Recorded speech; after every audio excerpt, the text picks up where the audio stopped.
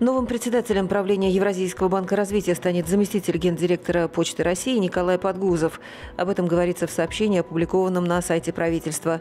Соответствующее распоряжение уже подписал глава правительства России Михаил Мишустин. Вопрос об избрании председателя правления банка запланирован к рассмотрению на заседании Совета банка, который состоится 30 июня.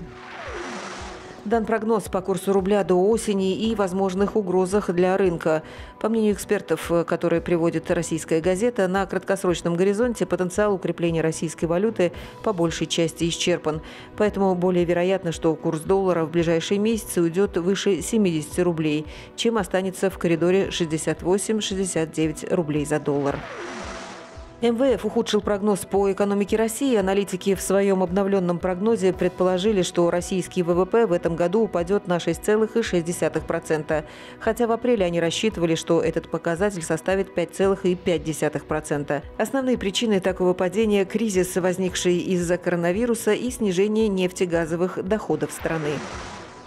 В России на 14% упала выручка аптек. Данные за май по сравнению с апрелем приводит DSM Group.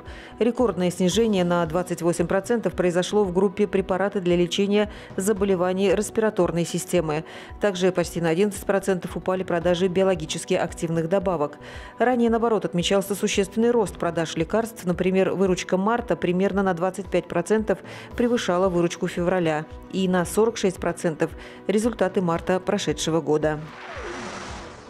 Ниже уровня 5% опустилась средняя максимальная ставка по рублевым вкладам в топ-10 банков России.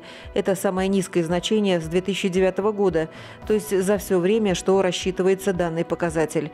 Ставка понижалась практически непрерывно с лета 2019 года. В марте 2020 она достигла 5,15% и на короткое время стала расти. Однако уже в конце апреля возобновило снижение. Это произошло после того, как Центробанк уменьшил ключевую ставку до 5, 2,5%.